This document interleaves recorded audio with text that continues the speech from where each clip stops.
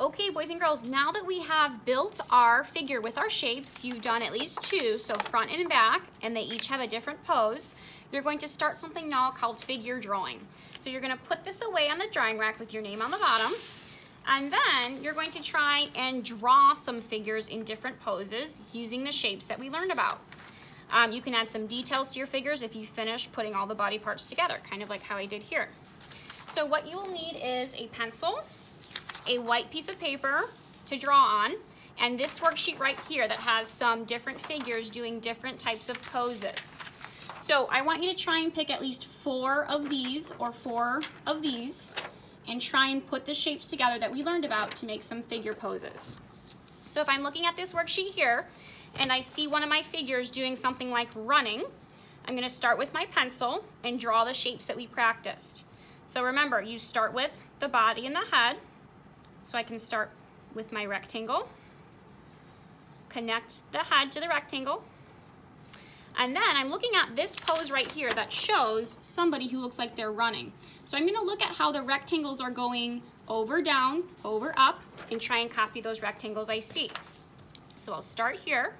Looks like there's a rectangle going out and then up, connected together. And there's two rectangles over here going out and down, connected together. Then on the ends, I see the hands. Then on the bottom, I'm looking at the legs. It looks like one leg goes out like this, and then one leg part goes down like this. Two rectangles put together, and the foot. Then one rectangle goes out like this, looking at this guy. One rectangle goes out like this, connected together, and then the foot comes down like this. So I finished my first pose here. I can add some details if I like or I can move on to my second one. So you will finish four poses in the end. Now, if it helps you, boys and girls, you can take your markers and do this a different way. You could, instead of drawing with your pencil the shapes, you could start with the colors that we practiced together, the red, yellow, blue, and green, and draw your figure that way.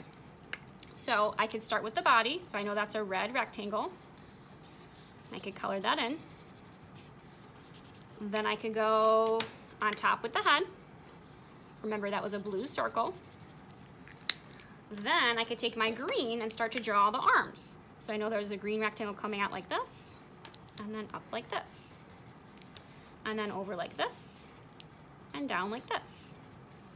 The legs are going out like this, two parts, and then down like this. And then finally, we have a yellow square for the arm, for the hands and the feet. So I can just connect those to the green. So two different ways that you can do this.